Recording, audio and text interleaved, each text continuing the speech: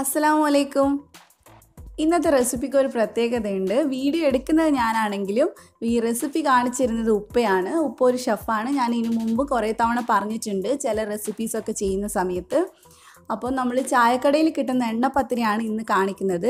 നിങ്ങൾക്കറിയായിരിക്കും രാവിലെ ഉണ്ടാക്കിയ എണ്ണപ്പത്തിരി നമ്മൾ രാത്രി ചായക്കടയിൽ നിന്ന് വാങ്ങിച്ചാൽ പോലും നല്ല സോഫ്റ്റ് ആയിട്ടാണ് ഉണ്ടാവുക. അതുപോലെ തന്നെ നല്ല ടേസ്റ്റി ആയിട്ടാണ് ഉണ്ടാവുക.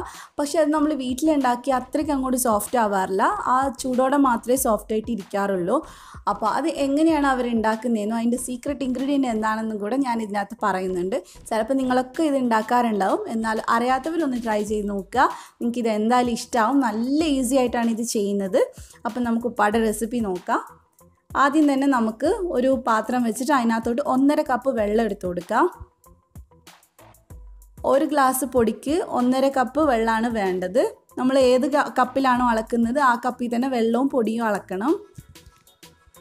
ഇതിൽ ആവശ്യത്തിന് ഉപ്പിട്ട് കൊടുത്തിട്ടുണ്ട്. എന്നിട്ട് നമുക്കിതൊന്ന് മിക്സ് ചെയ്തെടുക്കാം. ഇത് പല രീതിക്കും ചെയ്യാറുണ്ട്. ഉപ്പേനെ രണ്ട് മൂന്ന് ടൈപ്പിൽ ചെയ്യാറുണ്ട്. അപ്പോൾ ഏറ്റവും സിമ്പിളായിട്ടുള്ള ടൈപ്പാണ് ഞാൻ ഇന്ന് ചെയ്ത് കാണിക്കുന്നത്. വെള്ളം നന്നായിട്ട് തിളച്ച് തുടങ്ങിയിട്ടുണ്ട്. അപ്പം നമുക്ക് ഒരു കൈ കൊണ്ട് പൊടി ഇട്ടിട്ട് മറ്റേ കൈ കൊണ്ട് ഇളക്കി കൊടുത്തുകൊണ്ടിരിക്കാം അല്ലാതെ നമ്മൾ ഇട്ടുകൊണ്ടിരിക്കുമ്പോൾ വെറുതെ വെക്കാൻ പാടില്ല. നന്നായിട്ട് ഇളക്കി കൊടുക്കണം. അപ്പോൾ തന്നെ നമുക്ക് അതിനകത്ത് രണ്ട് ടേബിൾ സ്പൂൺ തേങ്ങ ചേർത്ത് കൊടുക്കുക രണ്ടോ മൂന്നോ ടേബിൾ സ്പൂൺ ചേർക്കുക ഒരു ചെറിയ പച്ചമുളക് ഒരു കഷ്ണം ഇഞ്ചി ചെറുതായിട്ട് കട്ട് ചെയ്തത്. അതുപോലെ തന്നെ ഒന്നര ടീസ്പൂൺ ചെറിയ ജീരകം രണ്ട് ടീസ്പൂൺ എള്ള് കറുത്ത എള്ളാണ്. ഇതൊക്കെ ചേർത്ത് കൊടുത്തിട്ടുണ്ട്. നന്നായിട്ടൊന്ന് മിക്സ് ചെയ്ത് കൊടുക്കുക. തീ ഇപ്പോൾ ഓഫ് ചെയ്തിട്ടാണ് ഉള്ളത്. നമ്മൾ പൊടി ഇട്ട് കഴിഞ്ഞ് മിക്സ് ചെയ്ത് അപ്പം തന്നെ തീ ഓഫ് ചെയ്യുക. അതിന് ശേഷം വേണം നമ്മൾ ഇതൊക്കെ ഇട്ട് കൊടുക്കാനായിട്ട്. ഇത് നന്നായിട്ട് മിക്സ് ചെയ്തതിന് ശേഷം ഞാനിത് അടച്ച് വെക്കുന്നുണ്ട്. ഒരു പത്ത് മിനിറ്റ് നന്നായിട്ട് അടച്ച് വെക്കുക. എന്നാലേ നല്ല സോഫ്റ്റ് ആയിട്ടുള്ള പത്തിരി നമുക്ക് കിട്ടുള്ളൂ. അപ്പോൾ ശ്രദ്ധിക്കുക. നമ്മൾ പൊടിയിട്ട് നന്നായിട്ട് മിക്സ് ചെയ്തതിന് ശേഷം അപ്പം തന്നെ തീ ഓഫ് ചെയ്യണം. ലോ ഫ്ലെയിമിൽ വേണം അതൊക്കെ ചെയ്യാനായിട്ട്. ഇപ്പോൾ പത്ത് മിനിറ്റ് കഴിഞ്ഞിട്ടുണ്ട്. ഞാനതൊരു തളികയിലോട്ട് മാറ്റിയിട്ടുണ്ട്. നന്നായിട്ട് കുഴച്ചെടുക്കാൻ വേണ്ടിയിട്ടാണ്. ഇനി ഇതിനകത്തോട്ട് നമുക്ക് കാൽ കപ്പ് മൈദ ചേർത്ത് കൊടുക്കാം. മൈദയാണ് ചായക്കടയിൽ സാധാരണ ചേർക്കുന്ന സീക്രട്ട് ഇൻഗ്രീഡിയന്റ് അത് ചേർക്കുമ്പോഴാണ് പത്തിരി ഒത്തിരി നേരം സോഫ്റ്റ് ആയിട്ട് ഇരിക്കുന്നത്. ഇനി നിങ്ങൾക്ക് മൈദ വേണ്ടെങ്കിൽ നിങ്ങൾക്ക് ഇങ്ങനെ തന്നെ ഉണ്ടാക്കുകയും ചെയ്യാം. അങ്ങനെയാണെങ്കിൽ കുറച്ച് നേരം മാത്രമേ സോഫ്റ്റ് ആയിട്ട് ഇരിക്കുകയുള്ളൂ. അപ്പോൾ നന്നായിട്ടൊന്ന് മിക്സ് ചെയ്തെടുക്കുക നല്ല പോലെ ഒന്ന് കുഴച്ചെടുക്കണം. നല്ല സോഫ്റ്റ് ആവുന്ന ഒരു ഒരു അഞ്ചാറ് മിനിറ്റ് ഒന്ന് നന്നായിട്ട് കുഴച്ചെടുക്കണം. എന്നാൽ മാത്രമേ പത്രി നന്നാവുള്ളൂ. ആ കുഴക്കനുസരിച്ചാണ് നമ്മുടെ പത്രിക്ക് എണ്ണ കുടിക്കുന്നതൊക്കെ. കുഴക്കുന്ന സമയത്ത് ചൂട് കൂടുതലായിട്ട് തോന്നുവാണെങ്കിൽ കുറച്ച് നല്ല വെള്ളത്തിലൊന്ന് കൈ മുക്കിയെടുത്താൽ മതി. എന്നിട്ട് വീണ്ടും കുഴച്ചെടുക്കുക. നന്നായിട്ട് കുഴച്ചിട്ടില്ലെങ്കിൽ പെട്ടെന്ന് എണ്ണ കുടിക്കാൻ ചാൻസ് ഉണ്ട്. ഇപ്പോൾ നന്നായിട്ട് കുഴച്ചിട്ടുണ്ട്. ഇനി നമുക്കിതൊരു അഞ്ച് മിനിറ്റ് ഒന്ന് അടച്ച് വെക്കാം. കുറച്ചും കൂടെ ഒന്ന് സോഫ്റ്റ് ആവാൻ വേണ്ടിയിട്ടാണ്. കുഴക്കുന്ന സമയത്തും ടൈറ്റ് ആണെന്ന് തോന്നുകയാണെങ്കിലും കൈ വെള്ളത്തിൽ മുക്കിയിട്ടൊന്ന് കുഴച്ചെടുത്താൽ മതി. അപ്പോൾ സോഫ്റ്റ് ആയിക്കോളും.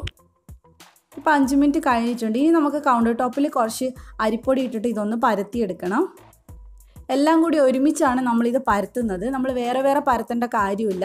അതുകൊണ്ട് നമുക്ക് ഈസിയാണ് അപ്പോൾ ഒന്ന് ജസ്റ്റ് ഒന്ന് എല്ലാം കൂടി ഒന്നും കൂടി ഒന്ന് മിക്സ് ചെയ്ത് ഒന്ന് കുഴച്ച് നോക്കാം.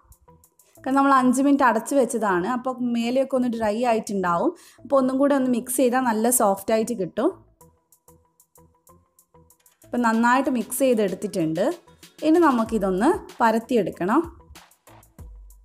ഒരുപാട് പ്രസ് ചെയ്ത് പരത്താൻ പാടില്ല. ജസ്റ്റ് അതൊന്ന് കുഴലിൽ വെച്ച് ഒന്ന് എല്ലാടെയും ഒന്ന് ഇതുപോലെ ചെയ്ത് കൊടുത്താൽ മതി. സോഫ്റ്റ് ആയിട്ട്. ഇടയ്ക്ക് കൈ വെച്ച് ഒന്ന് പ്രസ് ചെയ്ത് കൊടുക്കുക ഇത് ഏകദേശം ഒരു അര ഇഞ്ച് കനത്തിലാണ് നമ്മൾ ചെയ്യുന്നത്.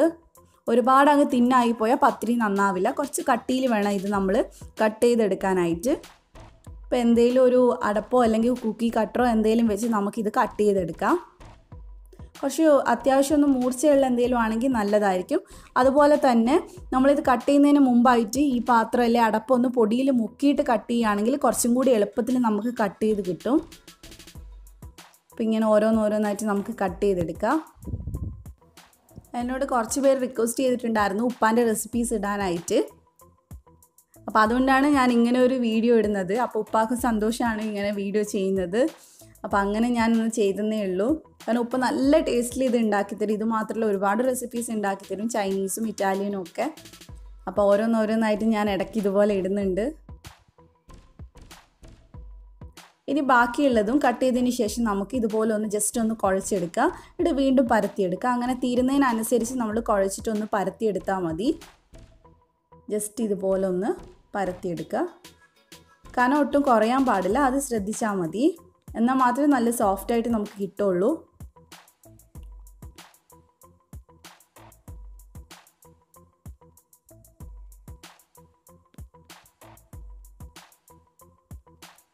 അപ്പോൾ ഇതും ഞാൻ കട്ട് ചെയ്തെടുത്തിട്ടുണ്ട്.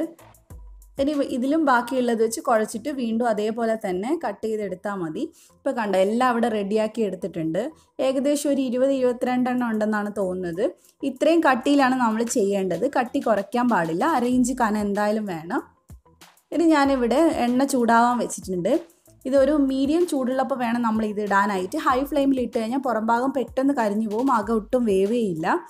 അപ്പോൾ ഒരു മീഡിയം ഫ്ലെയിമിൽ നമുക്കിതൊന്ന് ഇട്ട് കൊടുക്കാം. രണ്ട് മിനിറ്റ് കഴിയുമ്പോൾ ഇതൊന്ന് തിരിച്ചിട്ട് കൊടുക്കണം. അതിനുശേഷം തിരിച്ചും മറച്ചു വിട്ട് ഇതൊന്ന് വേവിച്ചെടുക്കുക. മീഡിയം ഫ്ലെയിമിൽ തന്നെ വേവിക്കുക. തീ കൂടിക്കഴിഞ്ഞാൽ ഉള്ളു വേവില്ല അത് ശ്രദ്ധിക്കണം. ചെറുതായിട്ട് ഇതൊന്ന് പൊങ്ങി വരും. പൂരി പോലെ ഒരുപാട് പൊങ്ങൊന്നുമില്ല എന്നാലും ചെറുതായിട്ട് പൊങ്ങി വരും. ജസ്റ്റ് ഈ ഒരു കളറാകുമ്പോൾ നമുക്ക് എന്നിട്ട് എടുത്ത് മാറ്റാം.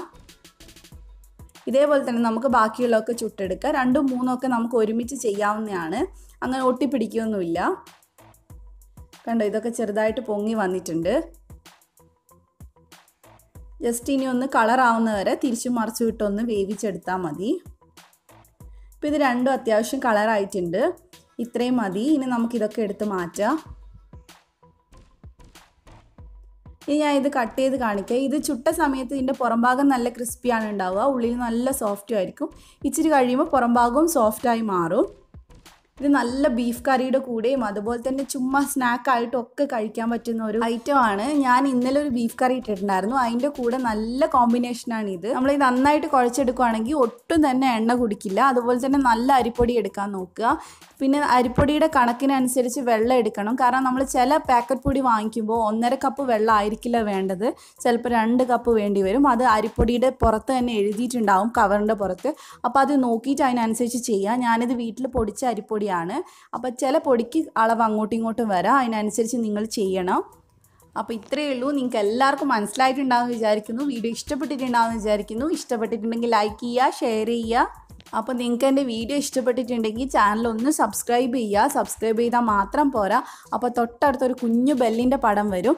അതുകൂടെ ഒന്ന് ക്ലിക്ക് ചെയ്യുക. അപ്പോൾ തൊട്ട് താഴെ ഓപ്ഷൻ കാണിക്കും. ഓൾ പേഴ്സണലൈസ്ഡ് അല്ലെങ്കിൽ നൺ എന്ന് പറഞ്ഞിട്ട്. അപ്പോൾ ഓൾ എന്നുള്ള ഓപ്ഷനിൽ ക്ലിക്ക് ചെയ്ത് കൊടുക്കണം. എന്നാൽ മാത്രമേ നിങ്ങൾക്ക് നോട്ടിഫിക്കേഷൻ വരുള്ളൂ. മിക്ക ആൾക്കാരും പറയുന്നുണ്ട് വീഡിയോ ഇടുമ്പോൾ നോട്ടിഫിക്കേഷൻ വരുന്നില്ല എന്ന്. അപ്പോൾ നിങ്ങളത് ഓൾ ക്ലിക്ക് ചെയ്യാത്തതുകൊണ്ടാണ് അങ്ങനെ വരുന്നത്. അപ്പോൾ അങ്ങനെ ക്ലിക്ക് ചെയ്ത് കൊടുക്കുക. അപ്പോൾ കോണ്ടസ്റ്റിന്റെ റിസൾട്ട് ഞാൻ പെട്ടെന്ന് ഞാൻ ഇടുന്നതായിരിക്കും. ഇൻഷാ താങ്ക് യു ഫോർ വാച്ചിങ്